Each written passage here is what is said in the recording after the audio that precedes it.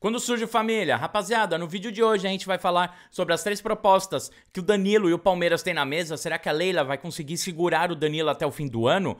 A gente tem informações sobre o De La Cruz que eu trouxe para vocês, um dos primeiros a falar, hein, rapaziada? Não se esqueça. E também o desfalque, péssima notícia pro jogo de Palmeiras e Deportivo Tátira. É Libertadores, meu irmão. Carta na rede, muito mais que 90 minutos. Bora lá? Vem comigo então. Roda a vinheta.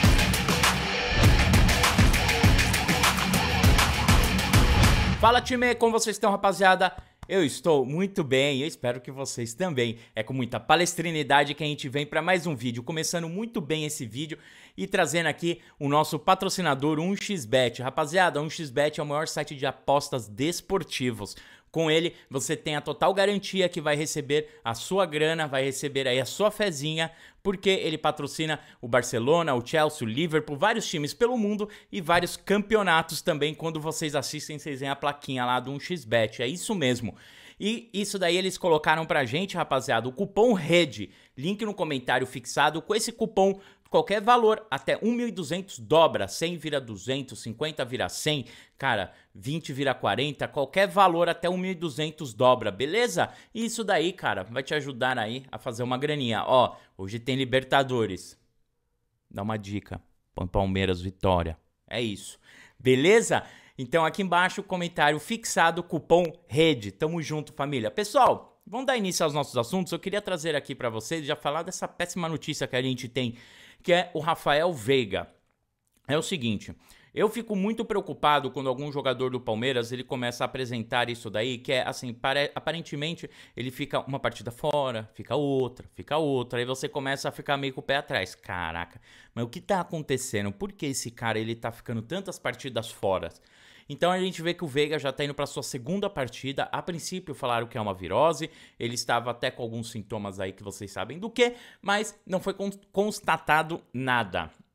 Veiga, se eu não me engano, eu não lembro se o Veiga já teve. Se alguém lembra, põe aqui embaixo no comentário. Pelo que eu me lembro, não, hein? Eu lembro do Veiga e o Everton não ter tido. Bom, então a gente sabe que isso daí acaba, assim, prejudicando e a gente fica com a pulga atrás da orelha. O que está acontecendo com, com o jogador? A gente viu que a lesão do Luan foi uma lesão, cara, que, assim, ninguém comentou muito sobre ela. Viraram e falaram: o Luan tá lesionado e tempo indeterminado.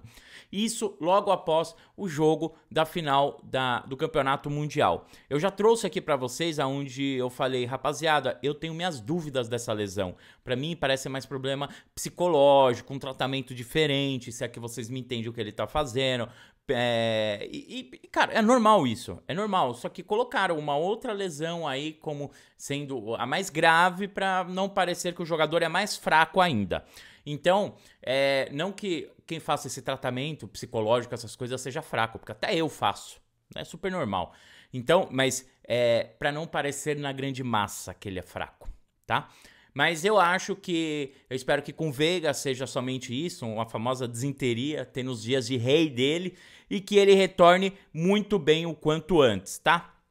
Pessoal, agora é o seguinte, eu queria trazer aqui para vocês para falar do De La Cruz. A gente sabe que o Palmeiras está assíduo no mercado procurando contratações. Palmeiras já trouxe há pouco tempo o Merentiel, o nosso La Bestia, Maravilha, hein? Que chega só em julho por causa da janela internacional e o Palmeiras ele a princípio teria já consultado o De La Cruz para saber aí se ele vai renovar, se não vai renovar. A questão aí, rapaziada, o contrato dele tá terminando é, no final do ano e ele já pode assinar um pré-contrato.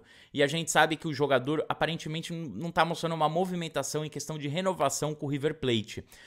O, Bo o Borré que foi aquela novela Borré, eu trouxe três vezes falando, agora fechou, agora fechou. Agora, pessoal, me, pa me passaram lá dentro que agora vai finalizar isso. E assim, gente, a gente, vocês sabem muito bem como é que funciona. Eu venho aqui, eu falo, ó, me falaram que vai fechar, é isso, é isso. Aí, o cara não fecha, você fala, ô, oh, não sabe nada, não sabe nada. Eu falo, gente, não é.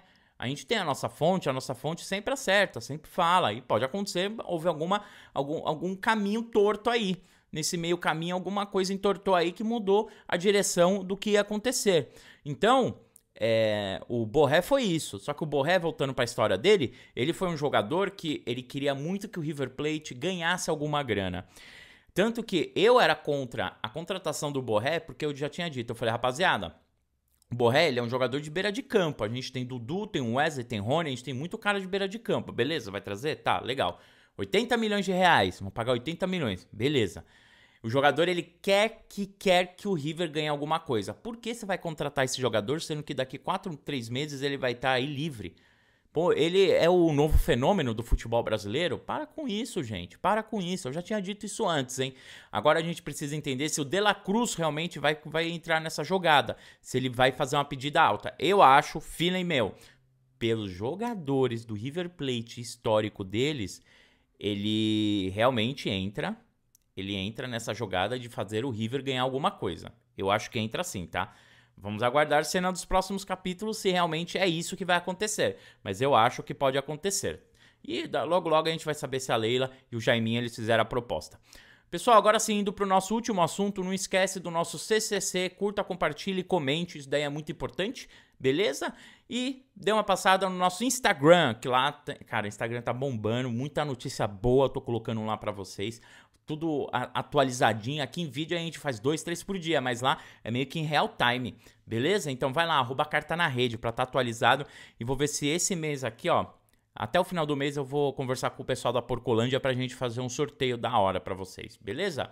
Pessoal, é o seguinte, agora pro nosso último assunto, vamos falar de Danilo. Dani. Danilo.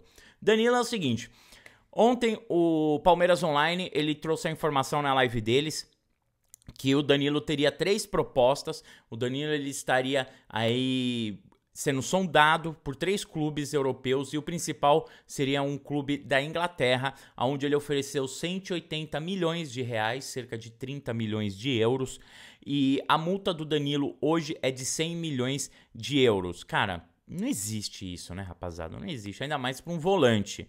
Vamos falar a verdade? Eu sei, cara, a gente põe um coração na frente. Ah, Hendrick tem que ser por 200, Danilo é 100, não sei o quê, mas ninguém é. Se você fizer um comparativo de jogadores é, que tem essa, essa multa, né, que, que, comparando a multa de jogadores novos, nenhum chega perto disso, nenhum vai chegar. Todo mundo beira os 40, 50, 60 milhões no máximo, que é o que o Hendrick colocaram. Então é assim, Tá 100 milhões no papel, mas já falaram que querem por 40. Eu acho que é um bom valor por 40 milhões, tá? Não adianta vir aqui falar, ah, 40 milhões é pouco, carta. Gente, futebol não é assim. Futebol não é Championship Manager, não é Elifute, não é Fifinha, não é pesca, estragar o PES. Futebol é outro esquema muito diferente. Os caras não vão dar 100 milhões. Se os caras pagam 200 no Neymar, como vão dar 100 num jogador do Brasil? Independentemente se é Danilo, se é Hendrick, se é o Pelé. Não vão pagar isso. Tem que ter isso muito bem claro na cabeça, porque aí depois fica criticando o clube e sendo que não entende do mercado. E tem que entender como funciona o mercado. Tem que ser. É assim, rapaziada, eu tenho que ser claro para vocês e, e, e, trazer a verdade. Eu queria muito também ser esse cara que fica, ah, não, tá errado, 100, tem que ser 100, 40 é pouco, não quero saber. Não é assim, né, meu? Não é assim que funciona. Eu também tinha vontade de comprar uma Ferrari por 50 mil. Aí eu acabo comprando um carro de 20, né? Parcelado em 24 vezes. Olha só, que doideira. Porque o mercado é assim. É assim que funciona. Eu queria chegar e comprar uma Lamborghini. Não dá, né? Muito difícil. Beleza, rapaziada? Pessoal, muito obrigado pela sua audiência, sua paciência. E não fica nervoso, é o choque de realidade que a gente tem que colocar, tem que trazer. É por isso que a gente se dá bem. Eu aqui vocês aí, a gente se dá muito bem nesse papo. Fiquem com Deus, um grande abraço, muito obrigado pela sua audiência, sua paciência. Mais tarde retornamos com mais info falando de Palmeiras e Deportivo Tátira. Não se esqueça, 11h30 da noite tem a live pós-jogo. Avante palestra!